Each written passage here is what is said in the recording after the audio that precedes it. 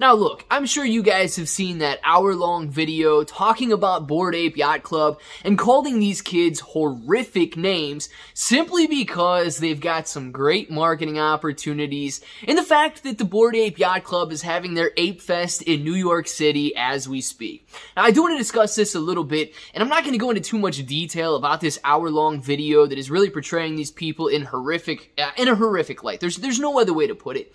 And I really want to say with this or discuss what this says about cryptocurrency in general and, and this overall bear market and why it's going to get worse. So if it sounds like something you're interested in, let's get started.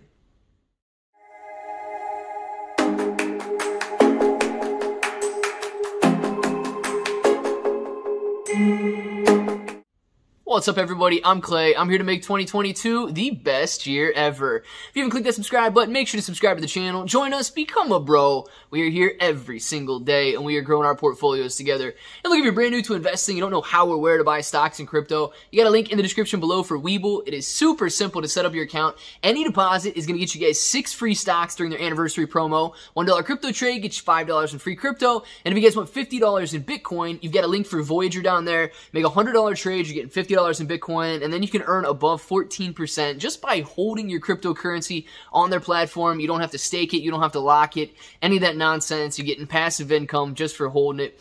But guys, look, I know a lot of people in the Bored Ape Yacht Club community, in the crypto community, they've either seen parts of that video, tried to watch the full hour long length of it, and so on. But what we have is an excellent marketing opportunity. Bored Ape Club trending, Ape Fest trending, a lot of people looking at this NFT program and this NFT platform because it has an, an uh, a very exclusive event going on in New York City right now.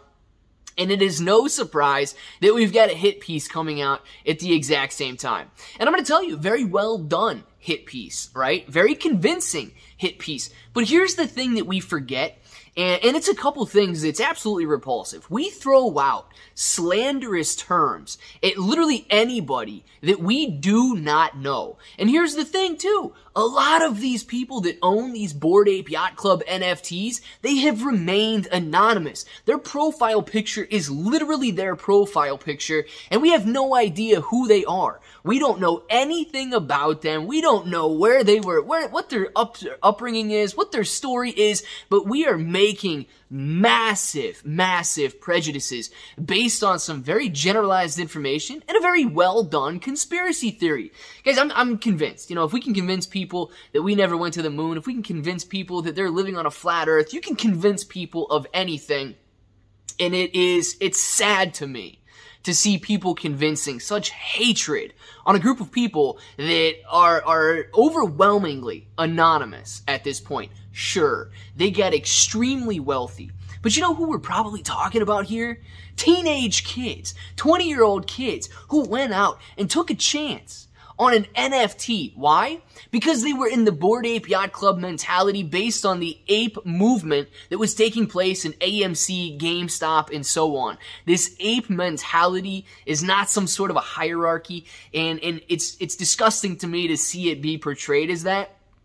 But take it from somebody who was in AMC and that ape movement from the beginning okay? It is about inclusivity. It is about everyone having an equal chance. It is about, you know, just I guess, realizing your financial dreams, your vision, coming together as a people, regardless of who you are, and fighting against the corruption, fighting against the manipulation, fighting against the man in a way that provides financial freedom to literally everybody that wants to get involved. And it is slanderous to me to watch some of the stuff that is coming about that. Guys, the ape movement, oh my goodness, it is so much more than what is being portrayed right now by a couple people who missed out on it. I did not get a Bored Ape Yacht Club NFT. I wish I would have gotten a Bored Ape Yacht Club NFT. I wish I would have watched my whatever 0.2 Ethereum turn into hundreds of thousands of dollars like a lot of these kids got to see. I am not jealous of them. I have no bad feelings about the success that they have seen. And it's obvious that some people do see that as, as a negative. That success, that upbringing, the overwhelming, I guess, triumph in that NFT project And it is, it's so, it's heartbreaking, right? To see someone talk about a, a group of people that they do not know, that is anonymous, that is diverse, that is as inclusive as can be in such a horrific and slanderous way. Now, with that being said, why does this relate to the overall crypto market? I believe we are going to be seeing a lot of this. If you think Bored Ape Yacht Club is bad at this point, if you think what, what the decentralized DAOs are doing out there to limit people and their have access to their funds, if you think that what crypto exclusive exchanges like Celsius and Three Arrows and Babel are doing right now in freezing people's assets, keeping their cryptocurrency from them, slandering them in ways ways that should never even be thought of and comparing them to people who have in history done horrific things, it's only gonna get worse, man. It's only gonna get worse. Cryptocurrency is in its infancy stages. Cryptocurrency is going to provide those that are willing to wait a decade, two decades, three decades, four decades with generational wealth. Man, maybe you don't get to see it right? Maybe you're like the guy who bought a stock back in 1970 and wrote it up a thousand X, and finally by the time he's able to retire, he's sitting on 10, 20 million dollars. Maybe you don't see the gains tomorrow. But if you think about cryptocurrency in the way that you could think about the stock market, it is just the beginning. It is going to go through its growing pains. It is going to go through its recessions and depressions. It's going to go through its bear markets, but we are at the beginning and I, I know they're going to talk it down and I know these people they hate change and I know they don't want to see it but one day it will be embraced. And when that happens all of the chatter all of this slanderous activity that is being portrayed in, in media right now that is being portrayed at just perfectly strategic marketing times when when Ape Fest is trending, when Bored Ape Yacht Club is trending, and the release of videos like this obviously do well because of the trending nature. Is this somebody who makes videos? Like I get it. You want something that's trending at the time. You want to talk about it, and it couldn't have been it couldn't have been at a better time and a more controversial subject. The more controversy, the more the more heated passion we can arouse in people right now, or arise in people right now, it, it seems like that's what people want. Arguments, fights, just an insight. And, and man, it is tough to think that one day things will change, but they will. And here's the thing that we have to remember. If you want to be around, you're going to have to walk through the mud, man. If you want to be around, you're going to have to withstand the flame. If you want to be around when cryptocurrency soars again, you're gonna have to go through a lot, but it will be worth it. They'll call you names, they'll tell you you're dumb, they'll tell you that you're never going to see your money again.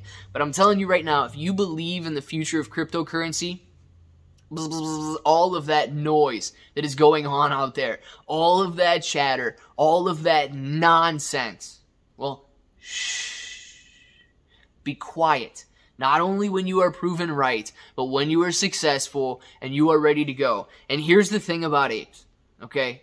Here's the thing about apes. From somebody who was in that AMC ape movement from the beginning, you have to remember this is not about individual wealth so that you can one day look down on somebody else.